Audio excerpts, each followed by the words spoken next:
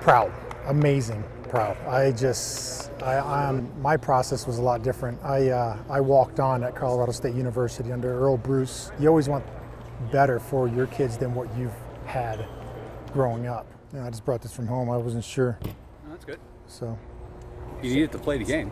yep, it's an exciting day. I'm excited. I mean, I've committed to Notre Dame on my birthday last year. Ever since then, I've been waiting for today. I'm like, okay, I can either dress very nicely today or I can wear this jersey and my school shorts, and I, I'm gonna do that. But I like this. I think I'm gonna be this number. Coach Elston was open at, up in there, and then I love Reggie White. oh, I have this, of course, in my room. No, no, you can stay on the phone, buddy. And my friends, my, I, you know, not even friends. They're all family here. Well, it's a huge community. The community here is amazing. Hey, Aidan.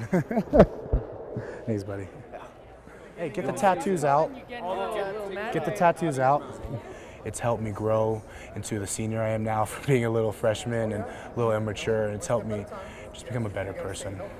great things in the future. Thank you, Coach. Thank you. If you ever need anything, I can't give you money, but I can give you plenty of advice. Of course. But you're one of the special ones. I use you as an example all the time.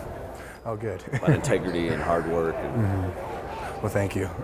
so I'm, my end goal, of course, is the NFL. Uh, actually, Notre Dame sent us that because he lives in Denver, Colorado, and they were saying he could be a Bronco in what four years.